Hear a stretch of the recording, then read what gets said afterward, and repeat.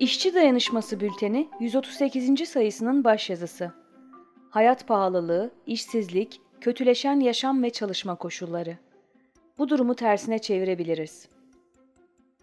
Resmi verilere göre enflasyon oranı %15, işsizlik oranı ise %13.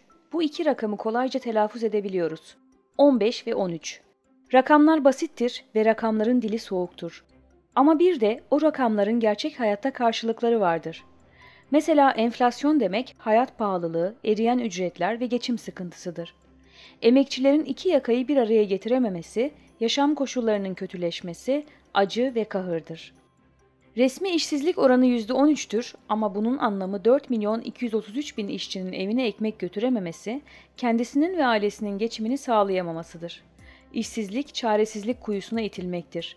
İnsanın kendisini değersiz hissetmesi ve bunalıma girmesidir.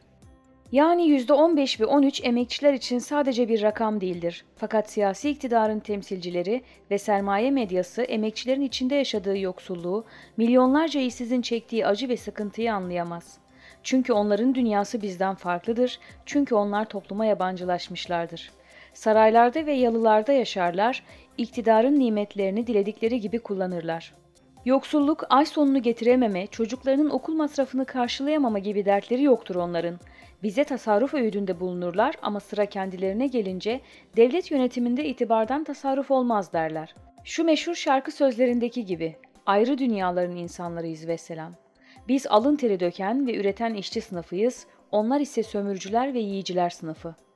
Siyasi iktidar enflasyonun düştüğünü iddia ediyor. Hem krizin olduğunu kabul etmiyor, hem de en kötü dönemin geride kaldığını söylüyor. Hadi diyelim kötü günler geride kaldı. Bu durumda hayat pahalılığının azalması, işçilerin satın alma gücünün artması, işsizliğin azalması gerekmez mi? Düne göre hayat pahalılığını daha az hissediyorum diyen işçi var mı? Siyasi iktidar sorunları gizleyerek ve toplumda her şeyin yolunda olduğu algısı yaratarak emekçilerin öfkesini yatıştırma ve kendisine olan desteğin azalmasını engelleme peşindedir. Bu yüzden yandaş medyayı da kullanarak toplumu istediği doğrultuda yönlendirmeye çalışıyor. Mesela Türkiye İstatistik Kurumu TÜİK aracılığıyla enflasyon ve işsizlik rakamları düşük gösteriliyor. Enflasyondaki duruma bir bakalım. Enflasyon fiyatların genel seviyesindeki değişimi yani tüm fiyatların tamamında sürekli bir yükseliş olmasını ifade eder. Yaz mevsimi nedeniyle meyve ve sebze fiyatlarının düşmesi ve bunun enflasyonu bir parça düşürmesi hayat pahalılığını ortadan kaldırmıyor. Yalnızca Temmuz ve Ağustos'ta bir ay arayla doğalgaza toplamda %30 zam yapılmıştır. Elektrikten gıdaya, akaryakıttan ulaşıma her şeye zam yağmaya devam ediyor. Ayrıca enflasyonun düşmesi malların ucuzlaması anlamına gelmiyor. Aslında olan fiyatların genel yükselişinin bir önceki yıl veya aya göre hız kaybetmesidir. Ama eriyen ücretlerimiz telafi edilerek alım gücümüz yükseltilmediği sürece bu hız kesme fazla bir şey ifade etmez. Hatırlayalım, geçen sene bu aylarda resmi enflasyon %25'i aşmıştı. Ama gerçek enflasyon yani emekçilerin hissettiği enflasyon %30'ların üzerindeydi.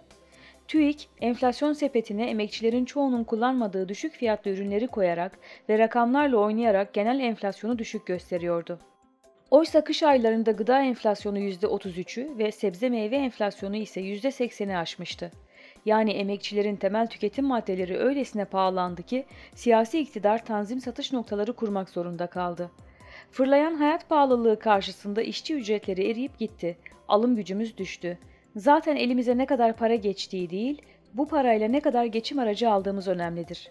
Krizle birlikte alım gücümüz düştüğü için reel ücretimiz de düşmüş oldu. Yoksulduk, daha fazla yoksullaştık. Zengin ile fakir arasındaki uçurum açıldıkça açıldı. Kriz öncesindeki alım gücümüzün korunması için bile önce eriyen ücretlerin telafi edilmesi ve ayrıca zam yapılması gerekiyor.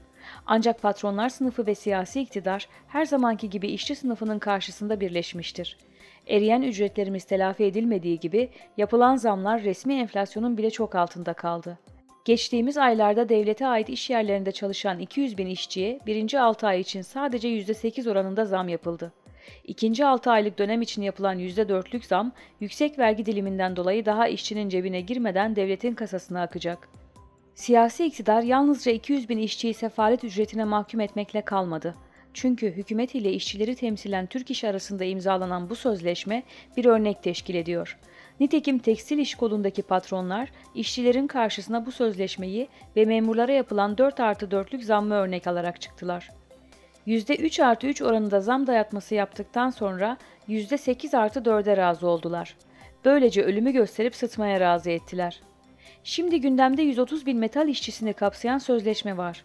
Doğal olarak bu sözleşme sektördeki tüm işçileri ilgilendiriyor. Metal patronlarının da düşük zam dayatmasıyla işçilerin karşısına çıkacağı sır değil. Bu zam oranlarının eriyen ücretlerimizi telafi ederek düşen alım gücümüzü yükseltmesi mümkün değildir. Sermaye sınıfı ve siyasi iktidar Türkiye'de işçi ücretlerine ağır bir darbe vurmuş ve reel ücretleri düşürmüştür.